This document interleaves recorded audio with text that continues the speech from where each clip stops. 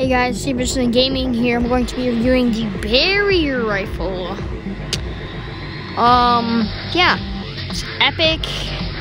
Single shots, piercing shot, energy shield. Let's check it out. Hold, wait, give me a second. So, um, I think there's some other stuff in the base off of it, sort of. Forgot what it's called. Um thinking. Yeah, but there definitely was two or three weapons. There was a lava one, and there was a, rainbow one that was mythical. The lava one's legendary. But without further ado, let's get into it. So basically, yeah, that's what it is. Um, it's special. I don't know if like special category.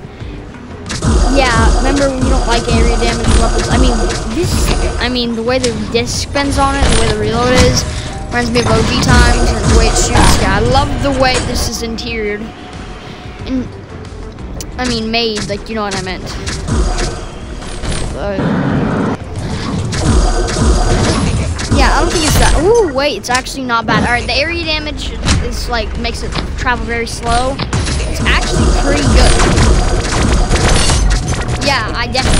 even if you are a bot, get, if, if you get close, you're still able to get really good kills with it. This thing's epic. This thing would also be awesome with. I like it, just to let you know. If you haven't already, please like and subscribe. It really help me out. I'm trying to become like one of them famous Pixelgun YouTubers, but I don't have to be famous, but when I get to a thousand subscribers,